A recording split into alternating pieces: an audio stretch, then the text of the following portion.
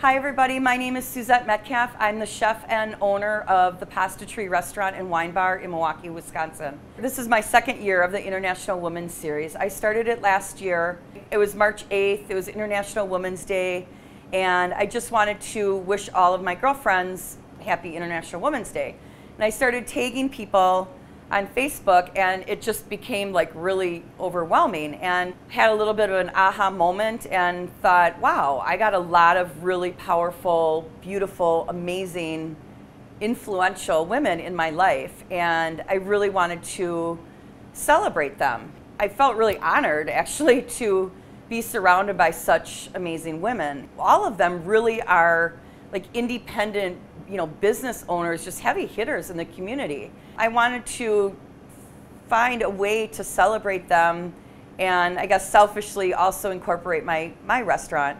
So I thought about it and I came up with honoring each of these women, you know, one per month and had them pick a dish that was meaningful to them. Brought them into the restaurant and we prepared the dish and then that dish is featured for the month that they were um, designated so we began the year of International Women's Series. Um, we were very fortunate enough to raise over uh, $7,500 for the three charities that I picked. The charities are Savage Support, which I'm on the board of, a founding member also. What we do is we assist women and men who are diagnosed with breast cancer, but they need help with uh, maybe doing their laundry or um, help with getting their groceries, maybe someone to come in and prepare their meals for them, folding their laundry, taking them to their doctor's appointment. We had one woman that was it was amazing. She was a huge gardener, and she, because of um, her diagnosis, she wasn't able to tend her garden. So we went in and we actually had some Boy Scouts come in and help, you know, do the garden for her. So she was able to actually have her garden without you know, physically being able to do it herself. So that's Savage Support. The second charity is Courage Milwaukee, which I'm so just grateful and honored to know Brad and Nick, who are the founders of it. They this year has been just amazing because they were able to open Courage Milwaukee House. It's just been amazing to actually see their dream come to fruition and be a part of this. Um, I'm just so humbled by it. Courage Milwaukee is um, focused on the LGBTQ community youth that are homeless. When I first became part of helping out with Courage Milwaukee, I was just astonished at how many homeless children we have here in our beautiful community of Milwaukee. You know, I grew up here, and to know that there are so many homeless children on the streets is just, I mean, I'm getting teary eyed just thinking of it. It's just devastating to me. And if I can help to get these kids off the street and give them a purpose and know that they are loved by all of us and they are unique in their own ways and beautiful and amazing. And now to be able to give them a home to teach them the skills and to you know, get them ready for the community. I'm going to go in and teach them how to cook some meals. And with the funds that were raised this year, we were actually um, able to purchase dressers for the um, Courage Milwaukee home. And I literally went online and purchased the dressers. They were delivered, the boys put them together, and they're using them today. So to be part of a charity that you know where your money is going, you can walk in and physically touch what you helped bring toward the charity is amazing. Obviously, I've, it's very dear to my heart.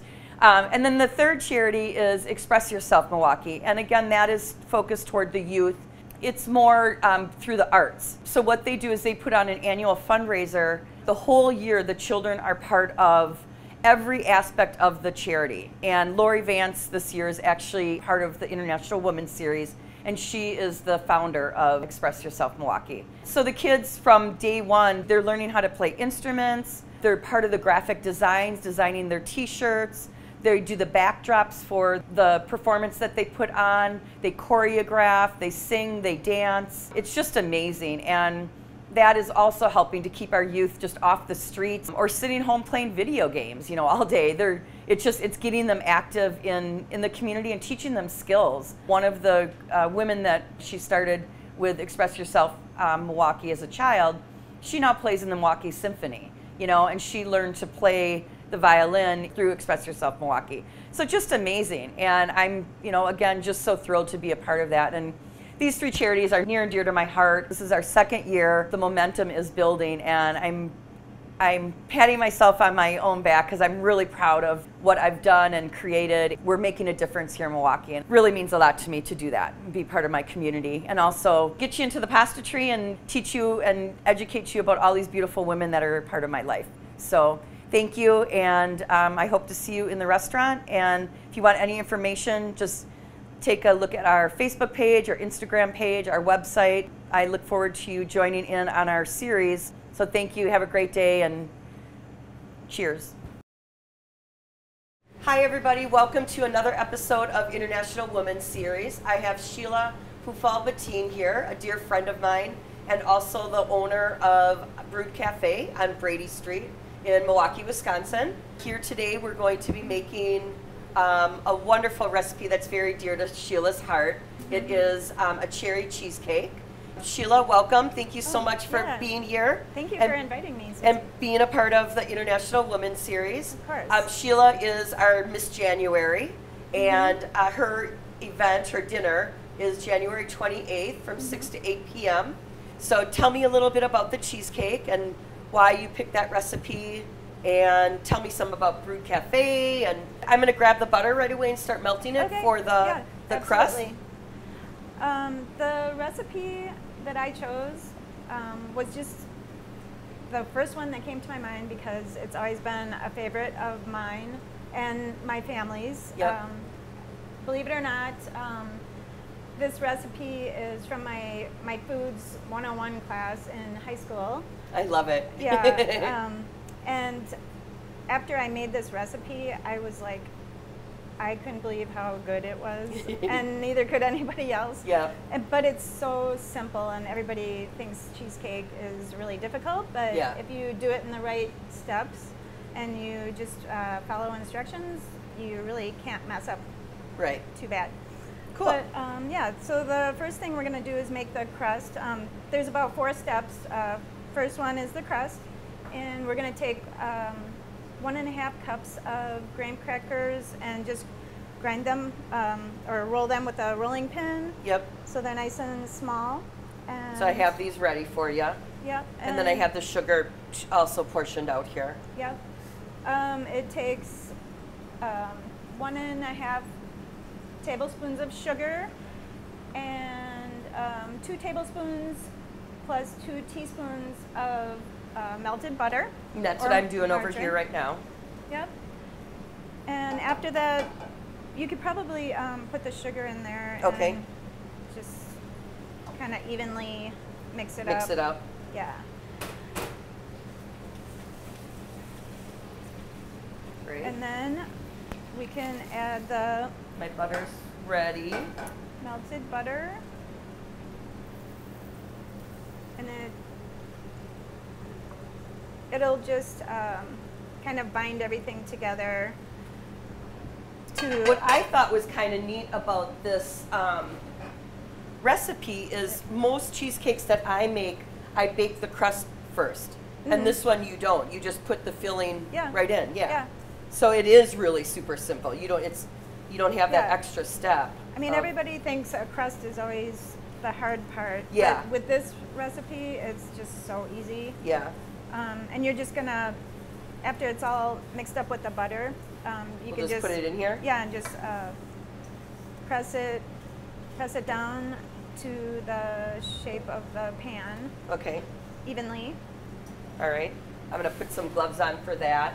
Sure. And then um, guess we could probably start on the filling, right? Because we're gonna put it right in here. Yes. So I have the mixer right over here. If you wanna, um, you can just put it in the bowl here. Okay. And um, then, or do you cream the cream cheese first, or um, or just yeah, add it all? Everything, as long as it's at room temperature, we could probably put it, it all, together. Okay. Yeah. So this is it's probably room temperature. It's been out quite a while. So tell me a little bit about. Um, so you own Brewed Cafe, Um, and yes. we were talking earlier, it's been 12 years already. Yeah, October 1st will be 12 years. I'm, that just blows me away, Sheila, because I I remember when you first bought it Yeah. um, or first started it. yeah, it's amazing Yep. how, how fast How time flies, huh? Yeah. I know this kind of the same thing with the pasta tree. We're in December, we're celebrating 38 years. Holy cow. I know. wow. so talk about a landmark, huh? yeah. well, I know you guys do a lot of really cool events too. I mean, you're tell us a little bit about Brew Cafe because it's very, it's a really unique coffee shop. Yeah, I mean, I really mean- local artists are celebrated and Yeah, I mean, it's one of the first uh, coffee shops that opened up in Milwaukee. And um, before, like, all the big coffee roasters made their mark Yeah. here. And it was, it was more or less like just a very social uh, place where you could meet up with friends and just hang out. And um, you have live music sometimes too, don't you? Yep. Yeah. Yeah, we have yeah. a lot of um, local musicians come in. Um, usually, I mean, it's like one person just kind of doing their their own thing, doing a solo Like act. acoustic, go, Yeah, guitar or something. But we have had um, full on uh, bands come in and like have like a horns section and Cool. drums and and we've had a, a couple like famous people. I think one of the guys from the Violent Femmes was there one day with his band. So oh that was yeah, kind of fun. that's totally cool. So okay, so we have the cream cheese, the sugar, some lemon juice, And then and um, the um, we vanilla. Yep. Yeah. And I'll just do that. One. Okay. Awesome. And then I'm just gonna get this started over here. And And then you also have um, like local, like people that make jewelry too. Oh, yeah. You have hanging in the restaurant. Yeah, I have um, Or a lot the- of the- local artists um, that paint and do ceramics and make jewelry and Yeah. stained glass. And um, being a former artist, uh, well, I'm not. I worked in the art field for about 20 years before I actually started uh, running the cafe. But um, so the art, artists are, have always been uh, near and dear to me, so I, I like to support them, and, and mostly local artists because oh, there's just so many of us out there, and And it's hard to get a start. yeah, And I noticed now you're also serving um, CBD, hmm um, like infused drinks. Is that? Yes, yes. Um, mostly just in drinks. Um, we haven't really experimented with the, the baking end of things, just because there's another uh, store on the street that Is doing that? Yeah, and um, I just wanted to kind of keep it simple, but still have that offering to people, and it's been working out really well. Yeah. Um, a lot of people at first were just like really curious and wondering about it, and it's it's not as I don't know. It, It's not like you're getting high. no, no, not at all. It's CBD. and yeah. that's what people are always Inquisitive about. Yeah.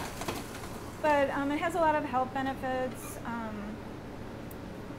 I mean, anything you could think of, like it's good for pain, arthritis, um, your heart, your your brain, um, Yep. everything. Um, and it, it it's good for anxiety as well. It has a calming effect, but absolutely no like feeling of being high or anything Right. like that. Yeah. Yeah. Okay. So we're gonna just um, pour this in here. hmm And then we'll bake it in the oven at 375 for. I hope this got cut off. for about 35 minutes. okay. so here we you go. something like that. I'm just loving that you don't have to bake the crust. Because that's Yeah. kind of always, you know, bake the crust, Yeah. then you gotta wait for it to cool, then you add your filling. Yeah. So it really is a, a simple recipe. I like that. Yeah. And then I, it's also really cool because you add this, it's a sour cream topping. Yeah, and this is the part that really, Makes it unique. yeah, I, yeah, it's it's really sweet and it it just tastes so good. It's just a half pint of sour cream. Um, And this, I have a half pint here. I already measured it. um, And then sugar. Yes. Okay, this I didn't measure, so I'm just gonna do kind of a quick. yeah. It's two tablespoons. and two teaspoons of sugar. So, like one tablespoon, two tablespoons. if you add a little more sugar, Yeah, I don't think little. anybody will complain. Okay, and then Um, what else? Vanilla. half a teaspoon of vanilla. oh. Did I use it all? Yeah, that's okay. Whoops. we got a little in there. yeah. And then, so we just mix this, and then it just goes on top. Do we bake it then? Um, yeah, after the cheesecake comes out of the oven, um, then you just kind of spread that over the top and put it back in the oven for five more minutes. Okay, And then you take it out and you just let it cool. let it cool a little bit. Yeah. And then we'll put the last step of, which is uh, the canned cherries. Okay, Or you can use raspberries or strawberries. Or it doesn't even have to be canned, it can be fresh as Okay, well. But, yeah. um, there's but some- this orig- original recipe had does the call canned for ones. Yeah. yeah. Okay. All right, so it's been about 35 minutes. We'll check Mm-hmm. on that cheesecake. Looking good. Oh yeah. Perfect. That No. looks beautiful. All right, so you want to just spread this on there? Sure.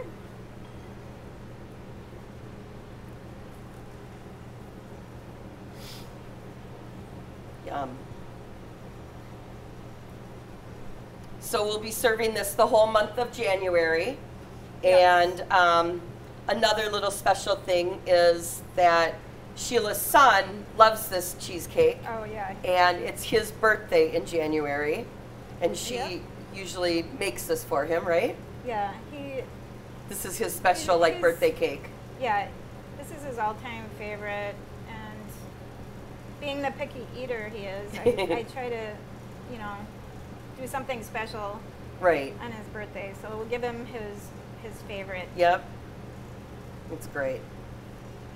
Okay, and then we're just gonna Put it in for like five minutes? Yep, five Okay. minutes. All right, so I will do that.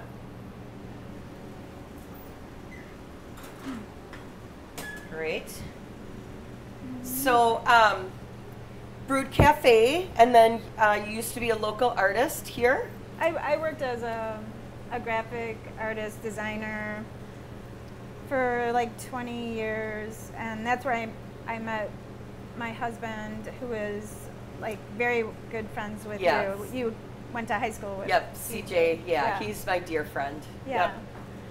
Which is funny because now we've become really good friends Yeah. through CJ. Yeah. And um, which is wonderful. Absolutely. So um, it's been fun. it has been fun. We've had a lot of um, a lot of good times together. Yeah. and, And it's it- great to have like a fellow, a friend that owns a business near, you know, too. Yeah. I haven't had to call on you for anything, which is good. You know, like, can I borrow linen or? Yeah. Yeah. A cup of sugar. yeah.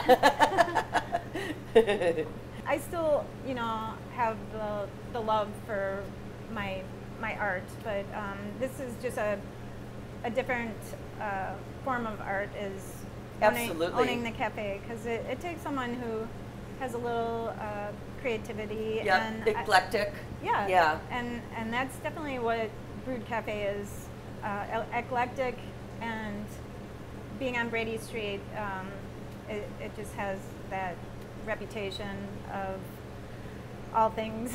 all things happen there. Yeah, It's really beautiful. And you can Yeah. see your art come through. Like Sheila does all of her own signs and you Mm-hmm. can really see her artistry come through in the restaurant.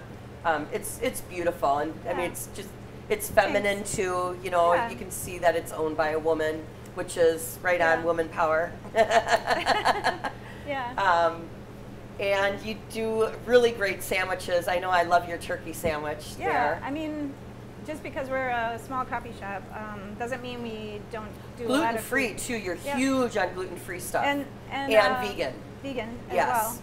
Yeah. So I mean, you can go there vegan, gluten free, have lunch, and not worry about. Yeah. I mean, there's plenty of things to eat. That's Yeah. what. That's a huge And everything point. is, yeah. is homemade too. Yes. Like our, uh, our soups and all of our spreads that we use as and ingredients. your pastries. Yep, all of our everything. bakery is Yep. homemade as well. Yeah. So, Yeah. So if you're Yeah. ever in town or ever nearby, stop at Brewed Cafe. Yeah. Say hi to Sheila. Yep. Yep. and I think we probably have about five minutes in the oven already. Yeah. Yep. Okay. Take that out.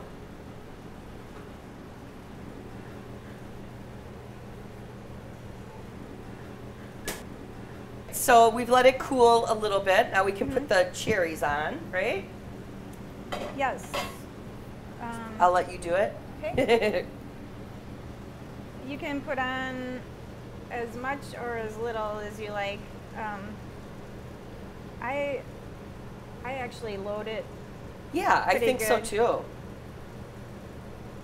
That's the yummy part of the. I love that you use lemon juice and vanilla. Yeah, the, it really is a a good complement to the fruit as well. So I have some plums that I just got from um, a local farmer here. So Oh, wow. I'm going to, um, I think I'm going to use some plums on one of them. That sounds delicious. Yeah. Yeah, you can really put any kind Yeah. of topping on it. I mean, we'll like. serve it in January with, obviously with your, with the cherries. Yeah, But this will be your nice recipe. and cheery for the dreary month of January. yeah, I like that. It'll be cheery cherry. yes, perfect. All right, and that's all there is to it. All right.